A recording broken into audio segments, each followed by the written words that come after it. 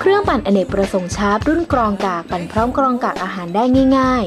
ๆและเมนูเพื่อสุขภาพที่เราจะทำกันในวันนี้ก็คือสวิตคอนมิลค่ะทำง่ายๆ ด้วยเครื่องปั่นอเนกประสงค์ชาร์ปรุ่นกรองกากค่ะ ส่วนผสมก็มีเพียงแค่ข้าวโพดหวานถั่วลิสงคั่วแกะเปลือกออกก่อนนะคะ น้ำตาลทรายเกลือแล้วก็น้ำต้มสุกค่ะ วิธีการทำง่ายมากนะคะ เริ่มต้นจากการนำข้าวโพดหวานเนี่ยแหละค่ะ ประมาณ 200 กรัมนะคะ ใส่ที่โถปั่นของเราค่ะ ข้าวโพดมีวิตามินอ e ีสูงนะคะ แล้วก็ยังมีกากใยด้วยค่ะ ช่วยระบบขับถ่ายด้วย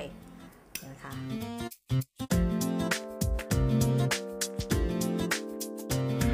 ตามด้วยถั่วลิสงคั่วนะคะ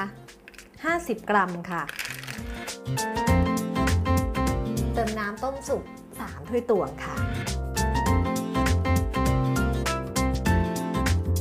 ำหรับวันนี้นะคะเราจะใช้ความเร็ว Speed 2ค่ะ ใช้เวลาเพียงแค่ 1 นาทีเท่านั้นค่ะ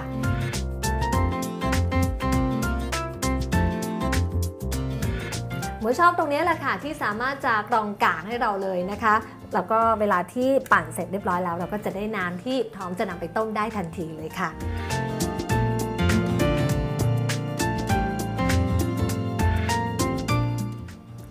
ได้เรียบร้อยแล้วนะคะ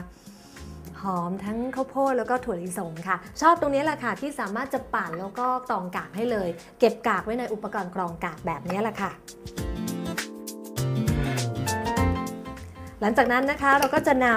ำน้ำที่ได้เนี่ยแหละค่ะ ไปต้ม ต้มกับน้ำตาลค่ะ เติมหวานนิดหน่อยนะคะ แล้วก็ตัดเค็มด้วยเกลือป่น แก้วนี้ต้มเติมน้ำตาลแล้วก็ตัดเกลือมาแล้วนะคะ เดี๋ยวมาลองชิมดูค่ะอืม